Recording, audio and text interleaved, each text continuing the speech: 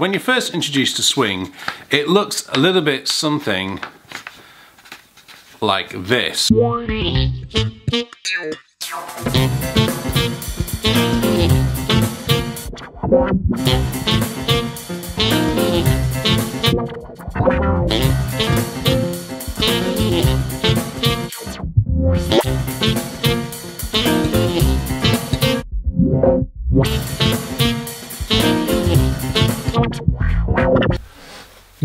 Welcome to today's vlog. It's great to be back with you. I've got to admit, trying to do vlogs during lockdown is tough.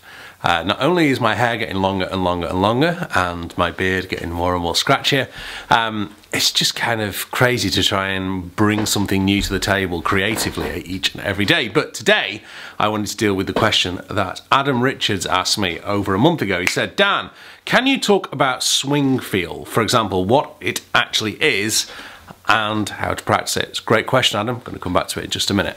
Now, part of the reason I'm not vlogging every single day is because I'm homeschooling my children.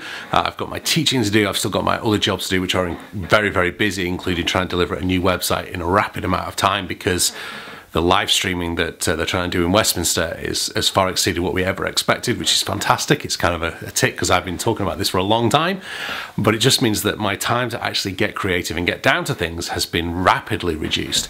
But one of the things I was doing last Monday, I went on a nice social distance walk uh, and I bumped into my friend Matthew Dilly, who is a sound engineer. And Matt engineered and produced my album Jazz Trio with the guys and we did it at Stapleford Granary which is now even closer to where I live from where I lived before. Uh, Stapleford Granary is like a small concert hall come recording studio. It's got that big room and for me Jazz Vespers was okay. I mean, we recorded it in an amazing studio, but close miking jazz records just don't sound good to me. I think jazz has to be recorded and played in a, in a bigger room so that you kind of get more of the atmosphere. And Stapleford's got that. But I was talking to Matt, and we were.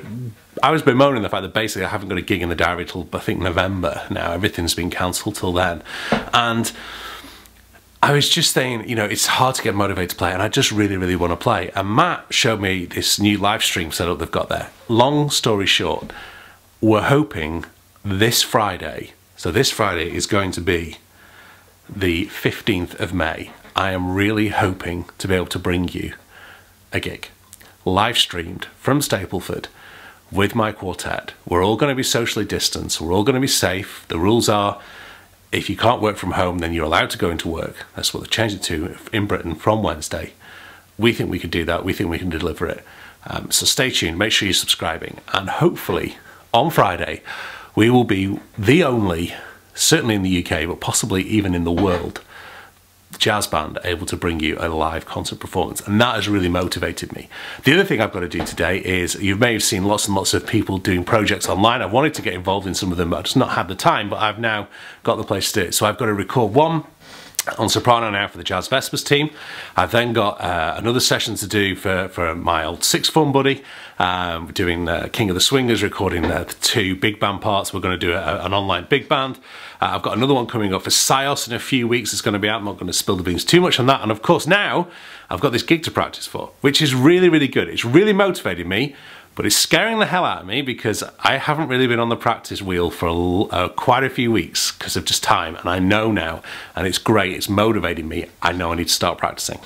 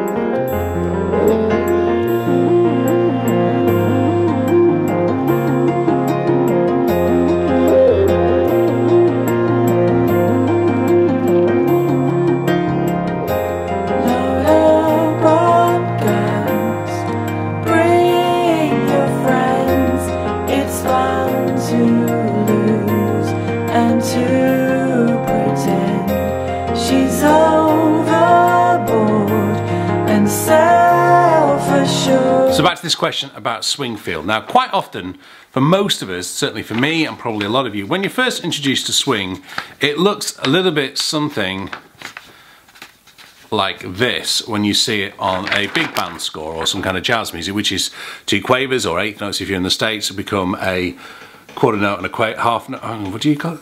I'm going to deal in English, I'm English. So two quavers equal a crotchet and a quaver with a triplet feel over the top.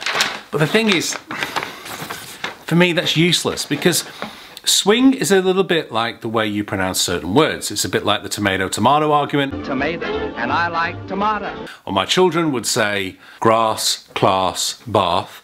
Whereas I would say grass, class and bath because I've grown up in a different part of the country from they have and therefore I say those words differently. They look exactly the same on, a, on the piece of paper but they sound very, very different depending on what context and who's saying them. So in my mind the way Sidney Bechet would swing something, say over Summertime, that classic Summertime recording has got a very, very heavy swing, very much a da bo do ba da bo da bo di da da ba da da slightly articulated in a certain way. Uh, the swing is quite, you know, laboured and heavy, whereas the way Charlie Parker would play something is a bit lighter. Uh, the way Coltrane plays different swing feels throughout his career. The, you listen to those early Miles Davis records, to right the you know, to playing with Monk is a different kind of swing feel to what he's playing later on in things like Love Supreme is barely swung to a certain extent in a traditional sense. So trying to explain swing feel very much gets me into that kind of something I have quoted before. It's an Elvis Costello quote, which is, you know, writing about music is like dancing about architecture. It's very, very difficult to utilize the English language to explain what swing feel is. It's far better to go away and listen to it. So to go away and understand. The closest I've got is, of course, the Duke Ellington. It don't mean a thing if it ain't got that swing. Do ba ba do ba da ba do do. I can't. Is that the right words? Probably not.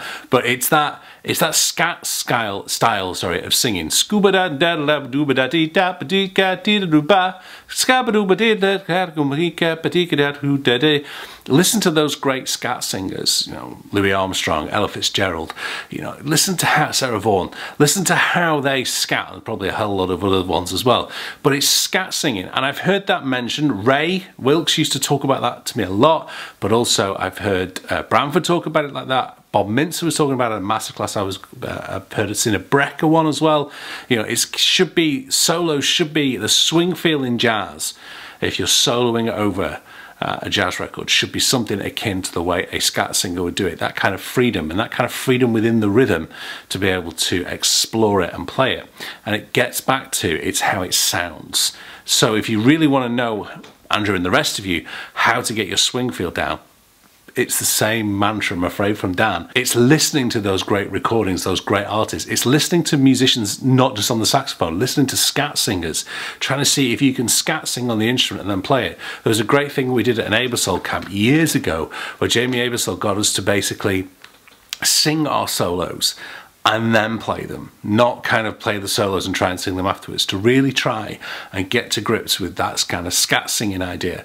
Uh, and that's for me where swing feel is. It's all about listening and it's scat singing. It's dooba dabba dee dabba dooba da dee da da doo ba da da doo because there's just so much more to it than just kind of oh something like this.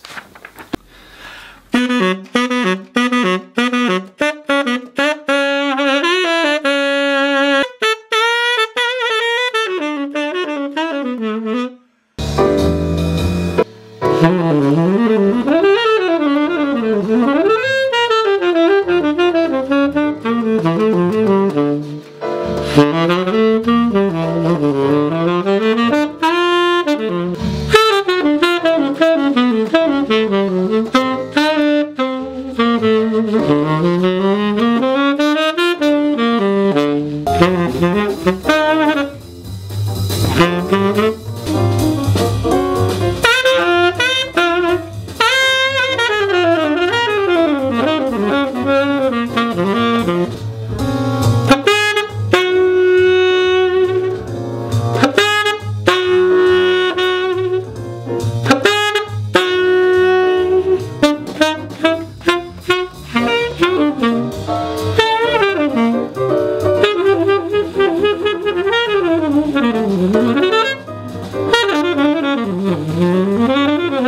hope that answers the question about swing feel. Obviously, there's there's a bit more to it than that, but essentially, if you stick to those principles of listening, trying to imitate a scat singer and understanding that it's different in different contexts, I think you'll get the concept of swing. I'm still working on something. I, I to be honest, I try and just emulate my favourite players and then just, as Parker said, get out there on the bandstand, hopefully soon hopefully Friday, and forget all that and just play, and that's what really comes out, and that's what matters. Thank you very much for watching. Don't forget you can get four free saxophone lessons at cambridgesaxophone.com. My two ebooks, the link below, Make Your Saxophone Sing and Nail Your Scales. Great books to be able to move on. We're going to do some more Nail Your Scale exercises on the YouTube channel, so make sure you're subscribing. Give us a like if you can. Check out my last vlog here. This is what I was up to this time last year. I'll see you really soon. Bye-bye.